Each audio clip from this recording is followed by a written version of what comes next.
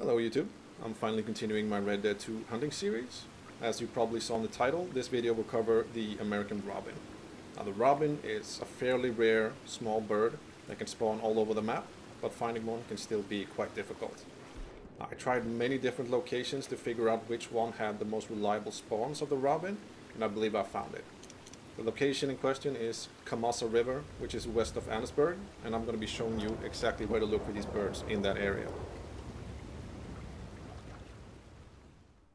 So, as I mentioned earlier, the location is Kamassa River, and I've placed markers on all the spots where I've observed robin spawning. Now the spawn of these small birds seem to be fixed, and they will always be sitting on top of rocks along the river. I'm going to be playing footage of me hunting these birds in the background, while I explain a few things that I think you should know. These birds are easily spooked, even from a great distance. So approach these areas stealthily, using your binoculars to spot them. Once you find one, get your bow out uh, with small game arrows and use Deadeye to target them from a distance for a guaranteed hit before they get spooked and fly away.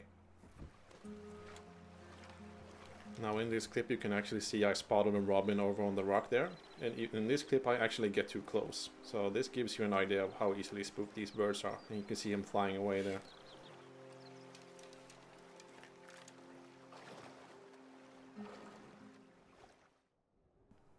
So, the general idea here is to stealthily move along this river, constantly scouting all the rocks in it and along its banks. Usually I would do it from north to south, starting from where my horse is, down to the last marker. Although this obviously doesn't matter. The last thing I should mention is that all the smaller birds seem to despawn during bad weather.